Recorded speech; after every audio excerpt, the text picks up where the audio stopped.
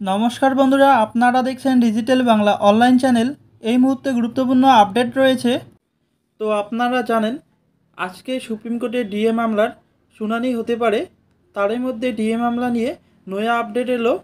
DA মামলায় প্যাচে পড়বে রাজ্য সরকার। এবার কি সুপ্রিম কোর্টে ডিএ মামলার পার্টি হওয়ার জন্য প্রস্তুতি নিচ্ছে শিক্ষক সংগঠন? একটি মহল থেকে তেমনই দাবি করা হচ্ছে। একাধিক মহলের দাবি সুপ্রিম কোর্টে মর্গ ভাতা বা ডিএ মামলার পার্টি হওয়ার জন্য আইনজীবীদের সঙ্গে আলোচনা করা হচ্ছে।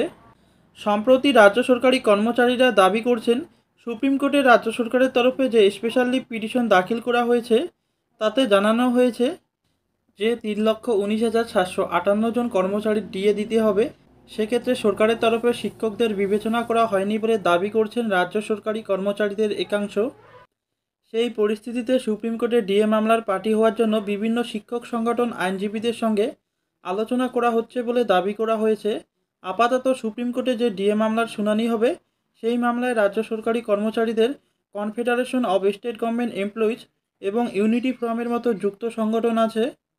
রাজ্য সরকারের কর্মচারীদের একাংশের অভিযোগ ছিল, সরকারি কর্মচারীদের মধ্যে বিভেদ তৈরি করা ছক কষা হচ্ছে, এবার সেই ফন্দি ভেস্তে যাবে বলে দাবি রাজ্য সরকারি কর্মচারীদের দাবি। যদিও বিষয়টি নিয়ে রাজ্য সরকারি কর্মচারীদের তরফে কোনো মন্তব্য করা হয়নি ডিএ মামলায় প্যাচে পড়বে রাজ্য সরকার। ডিএ মামলায় কি এবার সুপ্রিম কোর্টের শিক্ষকরা? চলছে আলোচনা। পরবর্তী কী আপডেট আসছে অবশ্যই আপনাদের জানাব। ধন্যবাদ।